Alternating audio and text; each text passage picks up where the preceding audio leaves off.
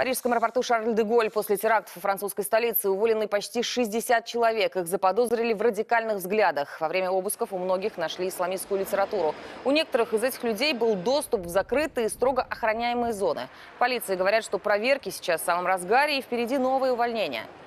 А в Бельгии предъявлено обвинение в терроризме шестому задержанному по делу об атаке на Париж. Он был задержан два дня назад во время рейда в Брюсселе. Глава МВД Франции тем временем подтвердил, что примет в дар от наших полицейских щенка-овчарки по кличке Добрыня. Он заменит в строю служебную собаку, которая погибла во время антитеррористической операции в пригороде Парижа. Этот подарок французский министр назвал сильным символическим жестом.